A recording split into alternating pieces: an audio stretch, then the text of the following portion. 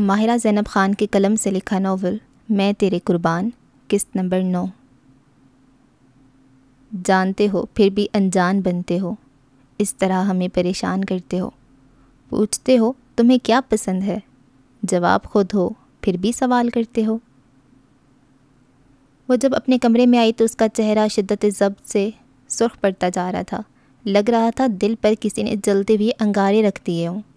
वो तवील साँसें लेते हुए ख़ुद को पुरसकून करने की कोशिश कर रही थी, लेकिन पूरा वजूद जैसे किस तरह भी कैफियत का शिकार था। दिल चाह रहा था कि सब कुछ तहस नहस कर दे। तुम क्या कर रही हो? अपनी ही परेशानी में वो देख नहीं पाई थी कि ब्रीज़े पहले से वहाँ मौजूद थे। रॉकिंग चेयर पर बैठी गैर मरई नुक्ते को देखती जाने कौन से जहाँ में पहुँची हुई थी। रेशाम के मुतवजो करने पर उसने निगाहों का रुख मोड़ के उसकी जानब देखा। कहाँ खोई हुई हो तुम? उसने फिर पूछा तो वो ख्वाबीदा सी कैफियत में बोली क्या तुमने जुगनुओं को रक्स करते देखा है, रिशाम? जुगनुओं का रक्स? रिशाम ने आँखें मीच कर चंद सेकेंड बाद खोल के उसे घूरा। इस वक्त मेरी जब की तनाबें छूट रही हैं और तुम्हें जुगनुओं का रक्स याद आ रहा है, बरीज़े। उसने सख्त तपे हुए अंदाज में पूछा। मैं ख़ुद को उसके शहर से निकाल नहीं पा रही। क्या फिर कोई ख्वाब देखा है तुमने? नहीं, अब वो ख्वाब में नहीं आया करता। उसके इनकार पर रिशाम ने शुक्र का सांस भरा कि चलो ये सिलसिला तो ख़त्म हुआ, लेकिन उसकी अगली बात पे उसका गुस्सा फिर उबलने लगा। अब वो ख्वाब नहीं है, ना ही ख्याल है। वो हकीकत है मुजस्म हकीकत। वो हकीकत में दिखाई देता है। और जब वो आता है तो तुम्हें जुगनुओं का रक्स दिखाता है। उसने गहरे तन से पूछा, सिर्फ़ जुगनुओं का नहीं, तितलियों का भी। जब वो मेरे सामने होता है तो मेरे इर्द गिर्द सिर्फ़ तितलियों और जुगनू उड़ते फिरते हैं। हर सू सुनहरी रोशनी फैल जाती है। सहरंगेज़ खुशबुएँ मअतर हवाएँ, यूँ महसूस होता है जैसे मैं किसी जन्नत में चली गई हूँ। वो वाकई अपने होश में नहीं लग रही थी। जहनी तौर पर वो कहीं और पहुँची हुई थी। क्या बैकी बैकी बातें कर रही हो? होश में हो पागल तो नहीं हो गई तुम? रेशाम ने उसे कंधों से पकड़ के झंझोड़ दिया। उसका दिमाग पहले ही सोचने समझने की सलाहियत खो बैठा था। ऐसे में ब्रीजे की उल्टी सीधे बातें उसे तैश में मुबतला कर रही थी। मुझे पागल मत कहो। मेरा यकीन करो मैं झूठ नहीं कह रही। मैंने अपनी आँखों से देखा है उसे। अच्छा तुमने देखा है उसे सच में? हाँ वो रेशाम की आँखों में देखती वह सोख से बोली। ठीक है, फिर बुलाओ उसको यहाँ पर। मैं भी देखना चाहती हूँ उसे। तुम तुम उसे देख के क्या करोगी? उसकी फरमाइश ब्रीजे के लिए हैरानगी का सबब थी। मेरा मूड इस वक्त शदीद ख़राब है। मैं उसे कहूँगी कि मुझे भी जुगनियों का रक्स दिखाए। तुम मेरी बातों का मज़ाक में मत लो शाम उसके तंज पे कहने पर वो नाराज़गी से बोली। मैं जब तक अपनी आँखों से नहीं देख ली, इतनी नहीं मानूँगी कि तुम्हारे कमरे में कोई जिन रहता है। अक्खर से लहजे में कहकर वो रूम से बाहर आ गई, फिर बड़बड़ाती हुई किचन की जाने बढ़ गई। सर दर्द से फटने को था। एक हाथ से सर को दबाती अपनी ध्यान में चल रही थी, जब अबीर की आवाज़ पर ना चाह रुकी। रुको रिशाम अबीर भाई, इस वक्त मेरा दिल कर रहा है कि मैं यहाँ से कहीं दूर भाग जाऊँ। सीढ़ियाँ उतर कर नीचे ही दाई तरफ़ बड़ा सा किचन वाक़ था, जहाँ वो पेन किलर लेने के लिए जा रही थी। दवाइयों का डब्बा खालदा बुआ वहीं रखा करती थी। उतरने के लिए उसने भी पहली सीढ़ी पर ही कदम रखा था, जब अबीर की वहाँ आने पर वो वहीं रुक गई। क्यों? उसने स्पार्ट लहजे में पूछा।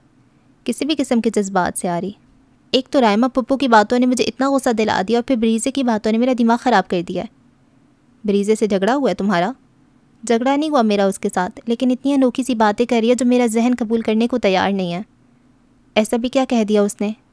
फिर वही जिनकी बातें शुरू कर दी हैं। कह रही है, अब ख्वाब में नहीं आता, बल्कि हकीकत में आता है। ओह, उसने तासुफ से नफ़ी में सर हिलाया। मेरा मशवरा माने तो आप हमना ताई और वहाज ताया से बात करके उसे किसी डॉक्टर के पास ले जाएँ। उसे डॉक्टर के पास ले जाने की क्या ज़रूरत है? क्या तुम उसे पागल समझ रही हो? मैं उसे पागल नहीं समझ रही अबीर भाई, लेकिन उसके साथ कोई साई की इशू है। मैं फ़िक्रमंद हूँ उसके लिए। उसकी फ़िक्र मत करो, वो खुद ही ठीक हो जाएगी। मैं उससे बात करूँगा। आप एक बार उसे बात करके देखें, आपको खुद ही अंदाज़ा हो जाएगा कि उसे इलाज की ज़रूरत है या नहीं। उसे तो सिर्फ़ इलाज की ज़रूरत है, लेकिन तुम्हें तो शायद दो थप्पड़ों की ज़रूरत है। उसका मूड पल में बदलते देख कर शाम ने हैरत से उसे देखा। अबीर भाई थप्पड़ की ज़रूरत, वो भी मुझे उस जहन पे ज़ोर देकर याद करने की कोशिश कर रही थी कि उससे ऐसा भी क्या काम सरजद हो गया जो अबीर उस पर गुस्सा कर रहा है? उससे ज़्यादा पागलपन का शिकार तो तुम हो रे शाम। आप किस बारे में बात कर रहे हैं? मुझे बिल्कुल भी समझ नहीं आ रही। तुम्हें क्या लगता है? क्या मुझे मालूम नहीं जो कुछ भी तुम करती फिर रही हो? उसका अंदाज़ कड़ा था। मैं क्या करती फिर रही हूँ? अबीर का अंदाज़ उसे नागवार गुजरा था। मैं सब जानता हूँ रेशाम, मुझसे कुछ भी छुपा हुआ नहीं है। वो संजीदगी से और इश्तियाल से कहती हुई, आखिर क्या जताना चाह रहा था? वो समझने से कासिर थी। आप किस बारे में बात करें मुझे समझ नहीं आ रही है।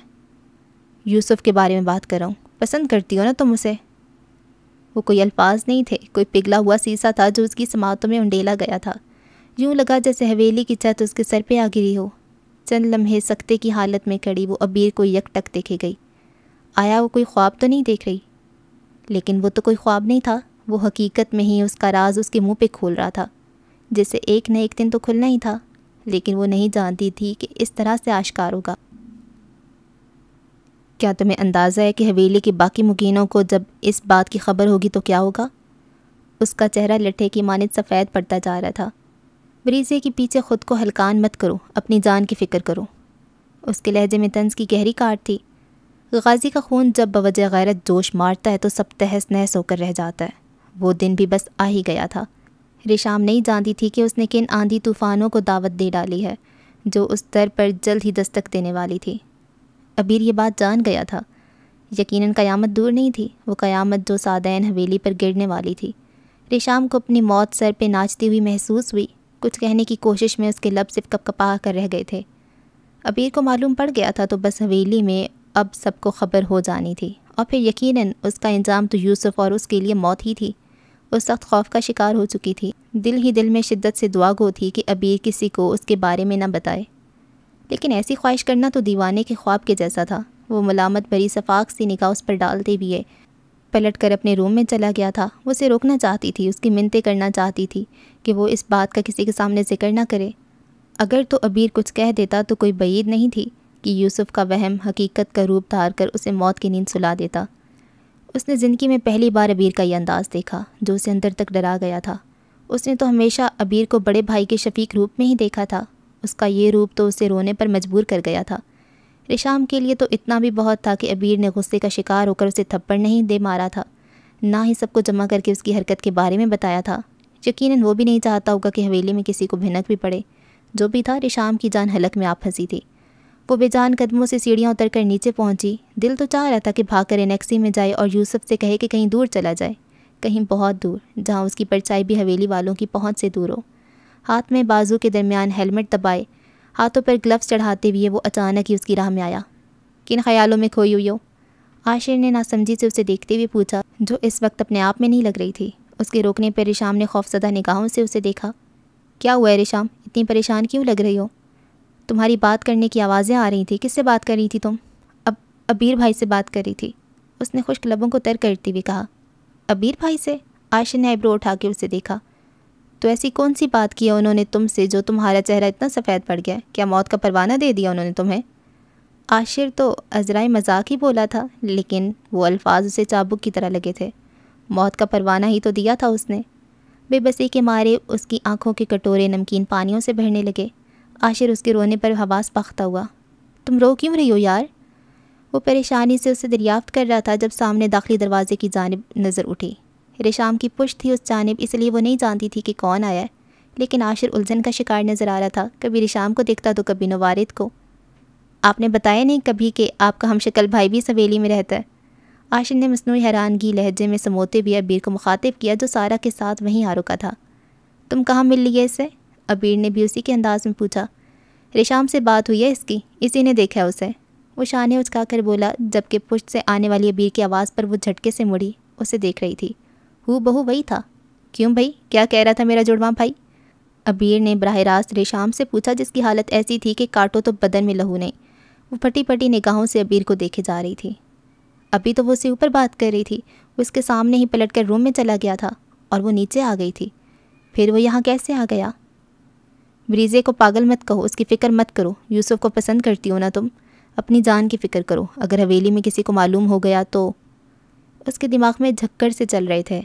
यानी वो ब्रीज़े का जिन ही था जो कड़े अंदाज में उसे धमकी देकर गया था कि अगर ब्रीज़े के ख़िलाफ़ कुछ भी उल्टा सीधा कहा तो उसका राज फाश करने में भी लम्हा नहीं लगाएगा। या अल्लाह, उसने बेसाख्ता दिल पे हाथ रखा। रेशाम, तुम ठीक तो हो? सारा ने परेशानी से उसके गाल को छुआ जो बर्फ़ की तरह ठंडी पड़ रही थी। उसे सब कुछ घूमता हुआ दिखाई दे रहा था। कितनी ही सारी सोचें एक साथ उस पर हमला आवर हुई थी जिनकी ताब ना लाकर वो चकरा के गिर पड़ी। बेड ग्राउंड से टेक लगाए एक पैर खड़ा किए, उस पर हाथ की कोहनी टिकाए वो उसे देखे बिना उसकी बातें सुन रहा था। माजी को सीने से लगा कर रखने वाली कभी मुस्तकबिल में कामयाब नहीं हो सकते। तुम्हें जब एक नेमत से नवाजा गया है तो उसकी कदर भी करो। मुझे मेरा माजी नहीं भूलता। जब सोचता हूँ कि मैं क्या से क्या हो गया हूँ तो यकीन ही नहीं आता कि ये वाकई में मैं हूँ। सुर्ख डोरों से सजी निगाह उठाकर दारिया ने उसे देखा, जो काफ़ी देर से उसे समझाने की कोशिश कर रहा था। तुम्हें शुक्रगुजार होना चाहिए कि अल्लाह ने तुम्हें हदायत से नवाजा है। आई डू लेकिन बस कभी कभार ख़ुद को बहुत बेबस महसूस करता हूँ। उसके लहजा टूटा बिखरा सा था। तुम अपनी बेबसी में काफ़ी तोड़ फोड़ मचाते हो, जिससे कुछ लोग खौफ में मुबतला हो जाते हैं। यहाँ वहाँ नज़रें दौड़ाते हुए उसने जैसे इतला दी थी, अपने इश्तियाल को बाहर निकालने के लिए मुझे यही तरीका मुनासिब लगता है। लेकिन तुम्हें खुद को नुकसान नहीं पहुँचाना चाहिए। उसने दारियान की सफ़ेद पट्टी से बंधी हथेली को देखकर अफसोस से कहा, आइंदा ख्याल रखूँगा। वो पार्ट सा बोला, क्या हो गया? मूड क्यों ख़राब है तुम्हारा? हर बात के जवाब में उसके एक ही जैसी बात सुनकर उसने आईब्रो उठाकर पूछा, मूड ख़राब नहीं है? बस थक गया हूँ। यूनिवर्सिटी और एकेडमी के बाद फुर्सत ही नहीं मिलती किसी चीज़ के लिए। तुम्हें ही शौक़ चढ़ा था उस्ताद बनने का। अपने भाई की सुन लेते ना करते अकेडमी ज्वाइन। अब क्या तुम भी मुझे नसीहतें करोगे?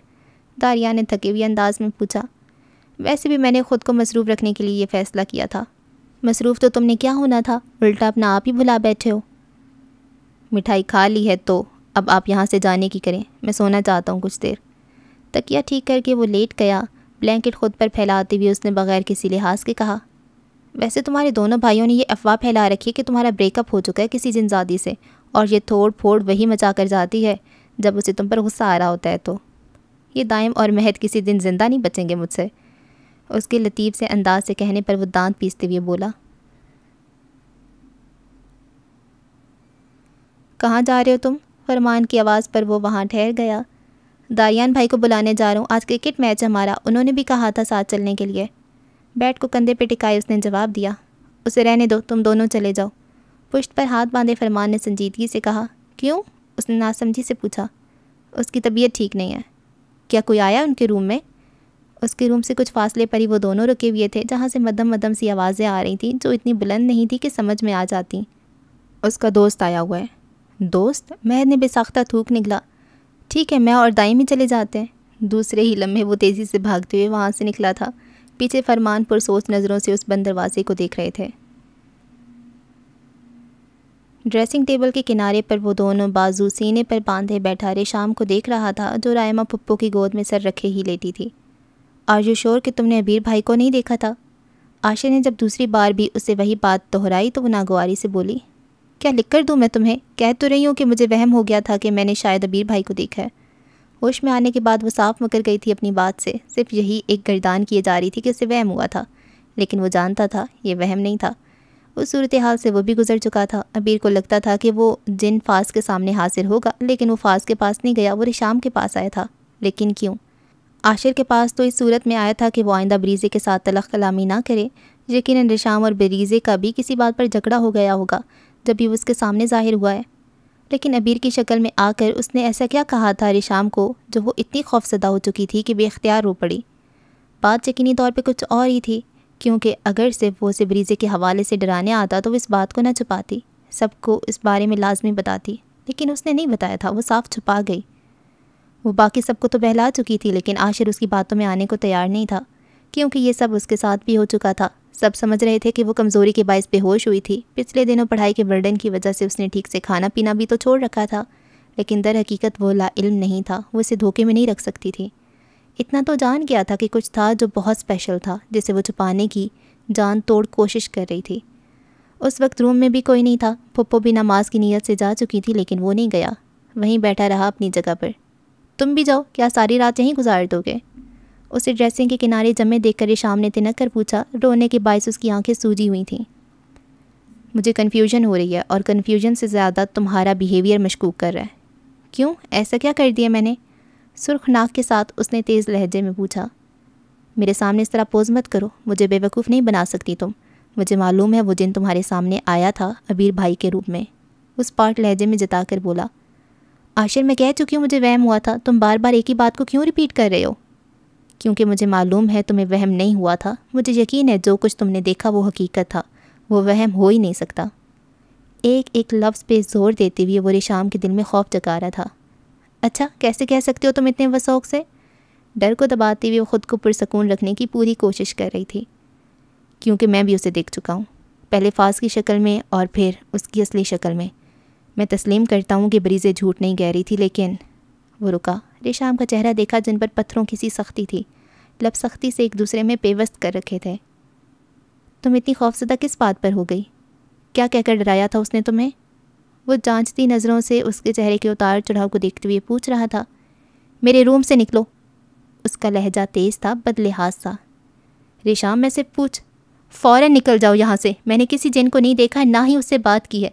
दोबारा मेरे सामने उसका तस्करा भी मत करना। वो अपने अंदर की वहशत को दबा नहीं पा रही थी। दृष्टि से उसे दफ़ा होने के लिए कहा, जो तासुब भरी निगाह उस पर डालते हुए रूम से बाहर निकल गया। लेकिन जाते जाते भी उसने कसद कर लिया था कि असल हकीकत का पता वो लगा कर ही रहेगा। और वो तो था भी ऐसा कि जिस चीज़ के पीछे पड़ जाए, कब्र तक उसका पीछा करता था। अपने मुतजस फितरत के हाथों वो हद से ज़्यादा मजबूर था, जो उसे चैन से कहीं बैठने नहीं दिया करती थी। रेशाम की ज़ात उसे शुबा में डाल रही थी, उसके तजस को और हवा दे रही थी। इस बार वही सही, इस बार रेशाम गाजी ही सही। उसे बाहर निकाल कर रूम लॉक करके उसे पुष्ट लगा कर वहीं बैठ गई। दोनों हाथों में सर गिराए, आँसू उसकी आँखों में भल भल बह रहे थे। याला ऐसा भी क्या कह दिया था मैंने ब्रीज़े को, जो वो जिन इस तरह से मुझे डरा कर धमका कर गया है? अगर उसने सच में किसी को बता दिया तो? इससे आगे उससे कुछ सोचा नहीं गया, ना ही वो सोचना चाहती थी, क्योंकि इससे आगे तो सिर्फ़ मौत ही थी। लामुतनाही सोचों में घिरा जीन्स की जेबों में हाथ डाले चलता हुआ वो देख नहीं पाया था कि वो ढेर सारी किताबें उठाए सामने से आ रही है। वो किताबें उसके सर से ऊपर जा रही थीं, जब वो भी देख नहीं पाई थी कि कौन सामने आ रहा है। नतीजतन दोनों का तसादुम वाकिया हुआ। देख कर नहीं चला जाता तुमसे? ब्रीजे के हाथ से सारी किताबें नीचे गिर गई थी, जब भी उस पर बरसी। नहीं, मैं अपनी आँखों का इस्तेमाल नहीं करता, लेकिन तुम तो कर सकती थी ना? लेकिन तुम्हें ज़ुबान चलाने से फुर्सत मिले तब ना? किताबें उसके चेहरे पे लगी थी, नाक और पेशानी को सहलाती हुई उसने घूर कर कहा, तुम्हें कोई तमीज़ नहीं है बात करने की? ओ माजरत, मैं भूल गया था। आपकी शान में गुस्ताखी करना ममनू है, वरना आपके जिन साहब हाजिर होकर अच्छी खासी डांट पिला जाते हैं। माफ़ कर दे इस नाचीज़ इंसान को। दोनों हाथों को जोड़कर चेहरे के सामने किए वो जज्ब से कह रहा था, लहजे में मसनू सा खौफ भी मौजूद था। फ़ातिम नाम है उसका। उसने घूर कर जिताया, ओह, फ़ातिम साहब को मेरा सलाम पेश कीजिएगा। खुद ही दे देना, मैं भेज दूँगी उसे तुम्हारे पास। ये तो और भी अच्छा है, मुझे वैसे भी कुछ राज की बातें करनी है उससे तुम्हें डर नहीं लगता आशिर? उसने देखे चतूनों से उसे देखते पूछा। किससे, उस जिन से या तुम्हारी जैसी चुड़ैल से? आश ने हैरानगी से कहा। पहले भी तुमने मुझसे बदतमीज़ी की थी और याद है ना वो आया था तुम्हारे पास? हाँ आया था, लेकिन उसे कहो कि दूसरों की शक्ल में आकर मुझे डराने, धमकाने से बेहतर है कि अपने असल रूप में मेरे सामने आए। फिर मुझसे बात करे, वो हाथ जलाकर बोला भले से वो अंदर से कितना ही उसे खौफसदा हो, लेकिन ब्रीजे के सामने मर कर भी ज़ाहिर नहीं करने वाला था। वो तुमसे जिस अंदाज में बात करेगा, शायद तुम्हें पसंद ना आए। पसंद तो मुझे तुम भी नहीं हो, फिर भी तुम्हें बर्दाश्त कर रहा हूँ ना तो उसे भी कर लूँगा। मर जाओ अपने इस गरूर के साथ चुपा कर कहते, वहीं वो घुटनों के बल बैठकर किताबें समेटने लगी। आशिर उसके साथ से होकर गुजरने लगा था, जब बेरादा सी निगाह नीचे गिरी किताबों पर पड़ी जिनमें नोटबुक्स और रजिस्टर्स भी शामिल थे। हैरत से मुँह खोले उसने झपट के ब्रीजे के हाथ से नोटबुक छीनी। वो सारा कोर्स उसके फ़र्स्ट ईयर का था। ब्रीजे उसे जूनियर थी, इसीलिए वो उसके कमरे से वो सब उठा लाई थी। किससे पूछकर तुमने इसे हाथ लगाया हाँ? वो शदीद गुस्से का शिकार लग रहा था। और मेरे रूम में जाने के लिए इजाज़त ली थी तुमने मुझसे? मैं पप्पो से पूछ कर गई थी। वो तुम्हारी पप्पो का नहीं, मेरा रूम है। जहाँ दाखिल होने के लिए तुम्हें मुझसे पूछना चाहिए था। वो तेज़ लहजे में उस पर बरस रहा था। इतना ओवर रिएक्ट मत करो। मैंने कौन सा तुम्हारी जायदाद की फाइल्स उठा ली हैं जो तुम इतना गुस्सा कर रहे हो? ब्रीजे, मुझे इस वक्त इतना शदीद गुस्सा आ रहा है तुम पर कि मैं तुम्हें थप्पड़ मारने से भी दुरेख नहीं करूँगा। कभी तुम मुझे बालकनी से फेंकने का कहकर डराते हो, कभी थप्पड़ मारने का कहकर? इतना ही शौक है तो ये लो, मार दो थप्पड़, अगर मार सकते हो तो। उसका अंदाज चैलेंज करने वाला था। और तुम्हें ऐसा क्यों लगता है कि मैं तुम्हें नहीं मार सकता? मैं नहीं डरता तुम्हारे जिन से। उसकी आँखों में देखते हुए वो एक एक लफ्ज़ पे ज़ोर देता बोला। मैं फ़ातिम की वजह से नहीं कह रही। अगर तुमने मुझ पर हाथ उठाना ही होता तो उसी दिन मार देते, जिस दिन मैंने तुम पर हाथ उठाया था। अच्छा याद दिलाया। ज़्यादा खुशफहमी में मत रहना। वक्त आने पर इसका हिसाब भी बेबाक कर दूँगा। फ़िलहाल तो ये सब उठाओ और वापस मेरे रूम में लेकर जाकर रखो। चुटकी बजाकर कहते उसने हुक्म जारी किया। लेकिन मुझे इसकी ज़रूरत है। ये कोर्स मेरे काम आएगा। तो मुझे पसंद नहीं करती तो फिर मेरे बनाए हुए नोट्स से भी तुम्हें पढ़ाई में हेल्प नहीं लेनी चाहिए। फातिम को कहो, वो अरेंज करेगा ना तुम्हारे लिए नोट्स और कोर्स? वो फिर तन से बोला, वो मेरे बिना कहे ही कर देगा। कम अज़ कम तुम्हारी तरह छोटे दिल का नहीं है। उसे घूरती हुई बरीज़े व मुश्किल सारी किताबें समेट कर खड़ी हुई। छोटा दिल तो मेरा भी नहीं, बस तुम जानती नहीं हो कि मैं अपनी चीज़ों के लिए किस हद तक पोजेसिव हूँ। जिस पर मेरी नज़र हो, मैं उस पर किसी और की परछाई भी बर्दाश्त नहीं करता। अपनी बीवी को तो तुम सात पर्दों में छुपा कर रखना फिर। वो दोनों साथ साथ चलते आशिर के रूम में दाखिल हुए। ब्रीजे ने सारी किताबें बेड पर रखी, फिर नोट्स और रजिस्टर को अलहदा करते हुए अलमारी में ले जाकर रखा और किताबों को वापस बुक शेल्फ में सजाया, जबकि इस दौरान वो रॉकिंग चेयर पर टांग पर टांग रखे उसकी हरकत और सकनात का जायज़ा ले रहा था। कोई शक नहीं कि मैं ऐसा ही करूँगा। अपने पागलपन की वजह से मार ही दोगे उस बेचारी को। अलमारी का दरवाज़ा बंद करती हुई उसने तासुब से कहा, तुम्हें उसके लिए फ़िक्रमंद होने की ज़रूरत नहीं। आशिन मिर्ज़ा की बीवी कोई आम लड़की नहीं होगी। हाँ तुम्हारे लिए तो आसमान से उतर कर आएगी स्पेशली क्यों? क्या मैं डिज़र्व नहीं करता आसमान की परी को? शक्ल देखो अपनी इसमें, फिर बात करना परी की। ड्रेसिंग मिरर की जानब इशारा करके उसने तंजिया मुस्कुराहट के जवाब दिया। जैसी भी शक्ल है, बहुत प्यारी बनाई है अल्लाह ने। अगर जिन ज़ात होता तो मैं भी हर सेकंड अपनी शक्ल बदल लेता, लेकिन मैं आशिर हूँ, एक मट्टी का इंसान। जैसे भी है, मैं खुश हूँ अपनी शक्ल से। अगर इसे बदलने का इख्तियार भी होता मेरे पास तो भी ना बदलता। बार बार फातिम को बीच में क्यों ला रहे हो?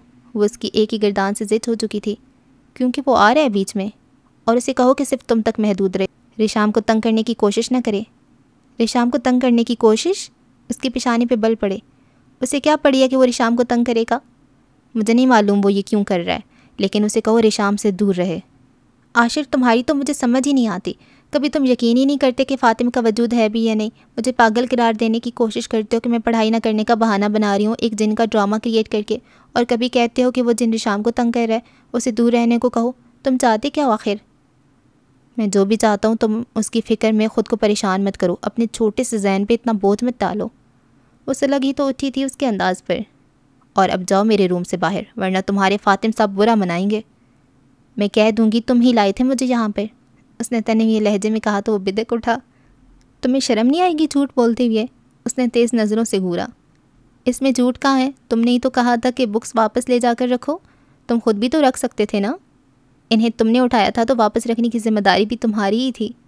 दे दो मुझे, क्या तुम म्यूज़ियम में रखवाओगे अपनी याद के तौर पर? उसके सामने खड़ी वो नाराज़गी से कह रही थी। इशारा उन किताबों की जाने भी था। म्यूज़ियम में रखवाऊँ या समंदर में बहा दूँ? मेरी चीज़ है, मैं किसी को नहीं दूँगा और तुम्हें तो बिल्कुल भी नहीं। कुर्सी की हथी पर कोहनी टिकाकर हथेली में सर गिराए वो राजा इंद्र बना बैठा था। कल उसका जामे में पहला दिन था। क्लास में जाने से पहले वो थोड़ा कोर्स रिवाइज करना चाहती थी, लेकिन आशिर ने तो जैसे ना देने की कसम खा ली थी। चलो एक डील कर लेते हैं। मरीज़े ने तुर्प का पत्ता फेंका। कैसी डील? आशिर को उसकी मुस्कुराहट मशकूक लग रही थी। वो उससे किसी भलाई की उम्मीद नहीं कर सकता था। तुम मुझे अपना सारा कोर्स दे दो, और फिर मैं वादा करती हूँ कि किसी को नहीं बताऊँगी कि तुम स्मोकिंग करते हो। हाँ अगर तुम इस डील से मना करते हो तो फिर जान लो। मैं फिर सबको इकट्ठा करके तुम्हारा कारनामा बताऊँगी। अभी तक तुम्हारा राज महफूज था मेरे पास, लेकिन अब सीने पर बाजू बांधे नीले दुपट्टे से सर ढके वो ठहर ठहर कर जलाने वाले अंदाज में कहती, उसका सुकून दरहम बरहम कर रही थी। आशिर ने नफ़ी में सर हिलाते हुए खुद पर लानत मलामत की। वो खुद से एतराफ़ करना नहीं चाहता था, लेकिन फिर भी कर रहा था कि वो चुड़ैल उसे ब्लैकमेल करने की सलाहियत भी रखती थी। कि जब सीधी उंगली से ना निकले तो उंगली टेढ़ी करनी ही पड़ती, आशिर मिर्ज़ा। उसके तपे हुए चेहरे को देखते हुए वो आईब्रो उठाकर मुस्कुरा कर कहती, उसे जहर से भी बुरी लग रही थी। आँखों से बाजू हटाकर उसने भारी होती पलकों को बामुश्किल खोला। उसका ऑफ़िस नीम अंधेरे में डूबा हुआ था। उसके आराम के ख्याल से वो जाती हुई सारी लाइट्स बंद कर गई थी, सिवाय एक के। जो उसको शादा ऑफ़िस को रोशन करने में नाकाफ़ी साबित हो रही थी। उसका जहन अभी भी गनूदगी में था। काफ़ी देर एक ही पोजीशन में लेटे रहने की वजह से उसने करवट बदली थी। और दूसरे ही लम्हे वो सोफ़े पर से धड़ाम से नीचे गिरा। आह, बेसाख्ता किराते हुए माथे को मसला।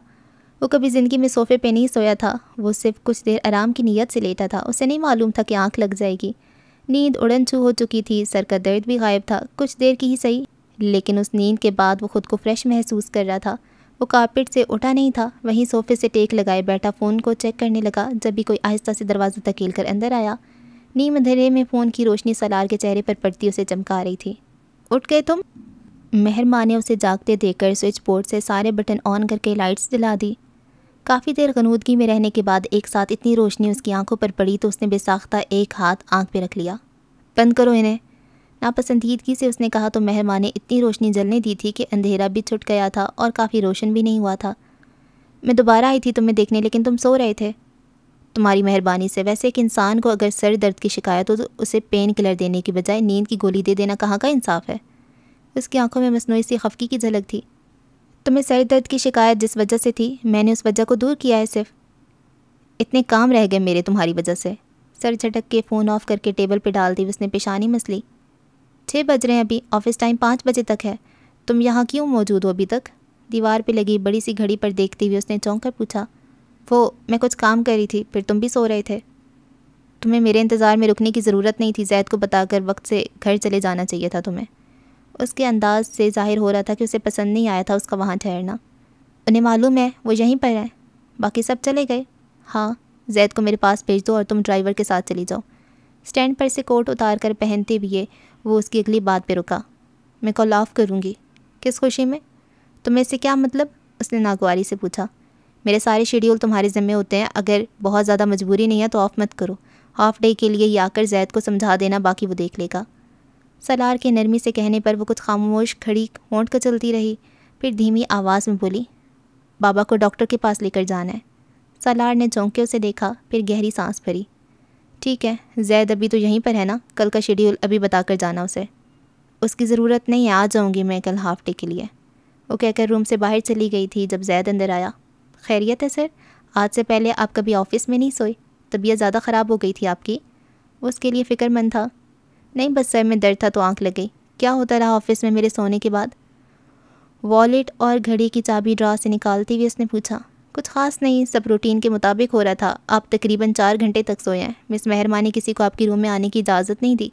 मैं आपकी खैरियत मालूम करने आना चाहता था। मुझे भी नहीं आने दिया। सारी ज़रूरी अपॉइंटमेंट्स भी कैंसिल कर दी। वो घर क्यों नहीं गई? क्या करती रही सारा वक्त? सलार को सिर्फ़ उस बात को जानने में दिलचस्पी थी। मिस सबरीना आज ऑफ़ पर थी। उनके ज़िम्मे कुछ काम था तो मिस मायर माँ उसे मुकम्मल करती रहीं। उसने अदब से जवाब दिया, आइंदा मेरी गैर मौजूदगी में महरमा को यहाँ ऑफ़ टाइम के बाद हरगिज़ अकेले रुकने मत देना। वो सख्ती से उसे बावर करवा रहा था। जैद ने एक लम्हे उसे देखा, खुश्क लबों पर ज़ुबान फेरी, फिर ना चाहती हुए भी अपनी सोच को ज़ुबान दे डाली। माजरत के साथ, लेकिन आप कुछ ज़्यादा ही फ़िक्रमंद नहीं हो रहे उसके लिए। आई मीन वो सिर्फ़ एक सेक्ट्री है। जैद ने डरते डरते पूछा कि कहीं वो बुराई मान कर डांट ना दे। सेक्ट्री वो सिर्फ़ दुनिया वालों के लिए है।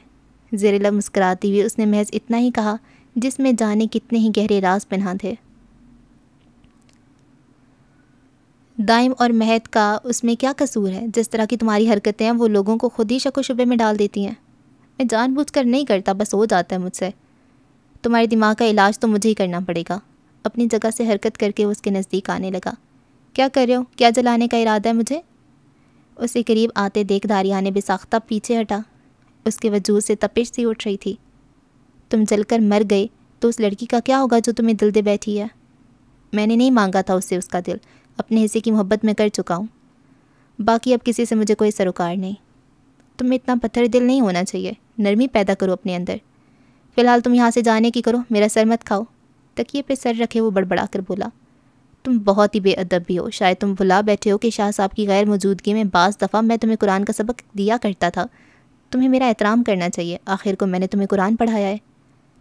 उसके लिए मैं तुम्हारा ममनून हूँ, फ़ातिम। लेकिन अभी निकलो यहाँ से, मैं आराम करना चाहता हूँ कुछ देर। उसने थकान से कहा, मिठाई के लिए शुक्रिया। अभी जा रहा हूँ, लेकिन जब अगली बार आऊँगा तो अपने मिजाज दुरुस्त करके रखना, वरना मैं खुद ठिकाने लगा दूँगा। उसके धमकाने का ज़रा भी असर लिए बिना वो आँखें मूंद गया। माहिरा जैनब ख़ान के कलम से लिखा नावल, मैं तेरे कुर्बान की किस नंबर नौ का अख्ताम हुआ? आपसे अगली किस्त में मुलाकात होगी। तब तक के लिए अल्लाह हाफिज़।